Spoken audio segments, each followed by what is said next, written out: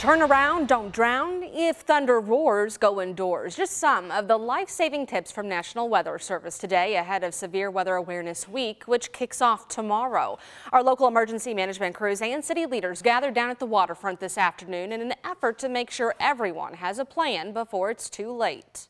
Want to get two ways to receive warnings. Your phone is WEA, Weather Emergency Alerts, and a weather radio. Middle of the night is not going to do it. The dog's not going to wake you up. You need to have a plan of action for your family.